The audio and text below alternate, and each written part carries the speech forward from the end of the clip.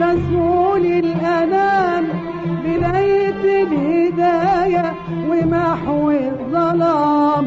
رجعنا وشفعنا في يوم الزحام. كمان